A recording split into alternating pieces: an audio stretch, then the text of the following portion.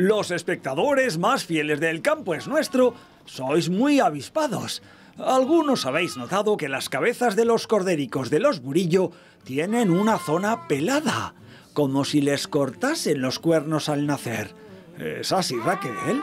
No, estos corderos nunca, ya veis que no tenemos ninguna oveja con cuernos y los corderos nacen sin cuernos. Lo que pasa es que nosotros eh, antes llevábamos machos que tenían cuernos y tenían ovejas y había ovejas con cuernos.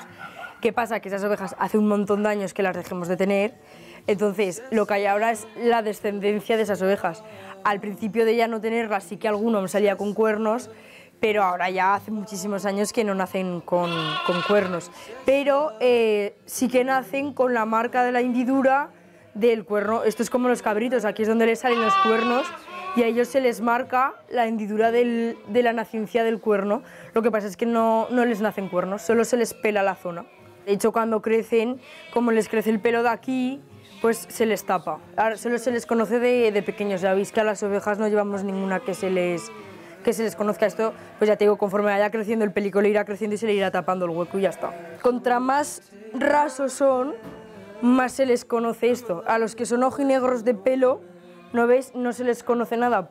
Pero contra más rásico tienen el pelo, más hendidura tienen, porque las, ovejas que tenían cuernos eran de pelaje así, por eso les pasa a estos, y a los que tienen pelo no.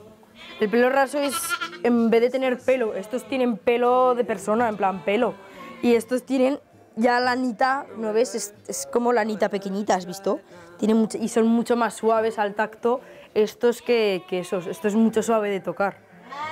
Y estas ovejas eh, nunca se esquilan porque este pelo es tan pequeñito que cuando llega el verano se les cae solo. Entonces no hace falta, pelar, no hace falta esquilarlas. Se te nota que te gustan más los rasitos.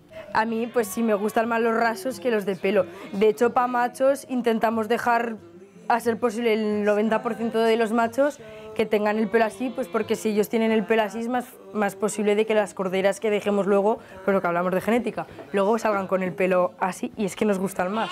Y se crían antes y siempre pesan más los que tienen el pelo así que los que tienen el pelo normal. Y además no hay que esquilarlos. Sí, la verdad es que sí, te evitas esquilarlos porque este pelico enseguida se les cae.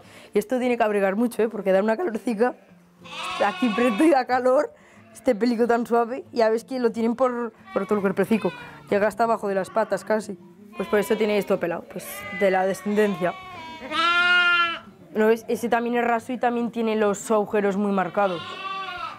Es por eso, y también tiene el pelo, ¿no ves? Tiene el pelo como este rasito. La genética... Que a cada uno nos toca una y no se elige.